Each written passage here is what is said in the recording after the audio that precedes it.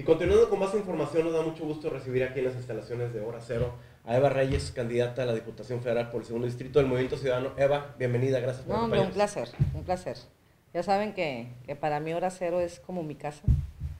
Me encanta ver hasta dónde han llegado y cómo, y sobre todo porque son sin duda el icono de las elecciones. Todo el mundo estamos esperando a ver qué dicen las encuestas de hora cero, los monitoreos de popularidad, este, y, pues orgullosa por lo mismo, porque ahora me toca venir de candidata. Y contenta, muy contenta de estar con ustedes. Oye, pues una nueva participación en política, ahora buscando la diputación. ¿Qué te movió para ¿Qué me movió? Pues el regreso a la política fue lo principal. Ahora sí que la marca este, tuvo mucho que ver el planteamiento que hace Movimiento Ciudadano de la socialdemocracia es algo que me alienta mucho. Siempre he sido una persona de izquierda y así me he manifestado siempre, pero la, izquierda necesitaba replantearse. Hubo una época alrededor de los 90 en que fue muy útil, pero también porque ya estaba cansada de rumiar mi coraje sola, de pasármela en mi bazar sentada o frente a la televisión y, estar echando de alguna manera, este, ahora sí que este, maldiciones por todas partes, eh, desesperada por no hacer nada y dije, bueno Eva, desde aquí no estás resolviendo, te estás volviendo una quejosa más de las que tanto criticaste. Este, eh, eh, yo coincido con todos los ciudadanos acerca de que el sistema político es, es horroroso, de que los partidos tenemos una deuda muy grande, mi partido y el de todos, que hay que recomponerlos, que hay que reorganizarlos, que hay que bajarnos los presupuestos, que hay que a los diputados mandarnos a Salazar un autobús, que hay que quitarnos los nexteles y los celulares. Estoy completamente convencida de eso, nada más que nada más legislando lo voy a lograr.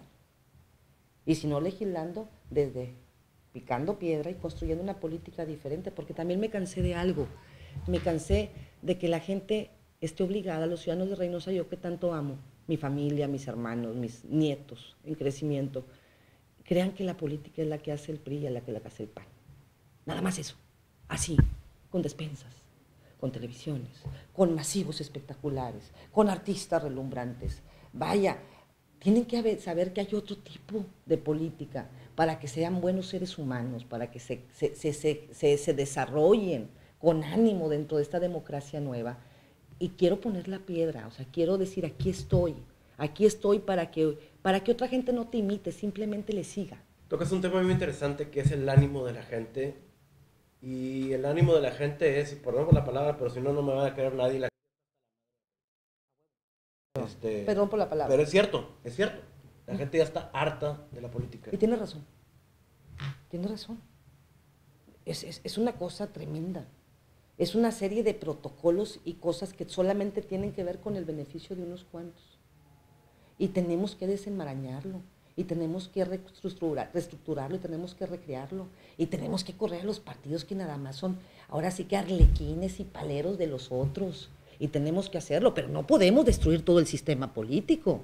Tenemos que empezar a hacer que aquellos los omnipotentes, los que descompusieron todo este tejido político, se vayan a quintas, cuartas fuerzas para que reconsideren y ahora sí, empiecen a trabajar como trabajamos los chiquitos, con poquito presupuesto y que así se amarren sus estructuras y que sepan lo que es talonearle y construir política a diario, no nomás en elecciones.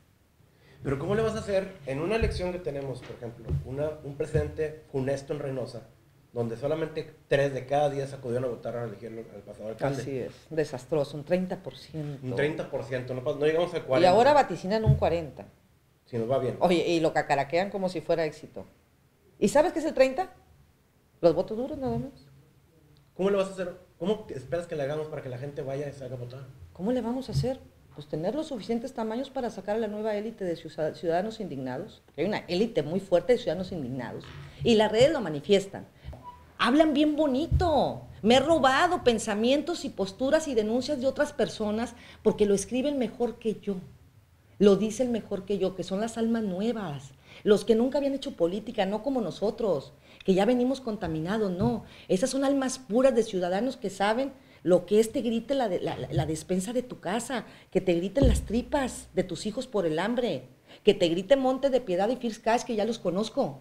Iremos en eso, en esa talacha diaria, que es lo que nos gusta, que es lo que disfrutamos.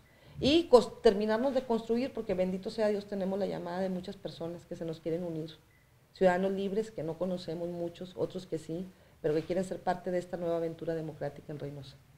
Pues muchas gracias, Eva. Gracias por estar con nosotros. No, hombre, gracias a ustedes. Gracias, ser. Gracias. Continuamos con más información.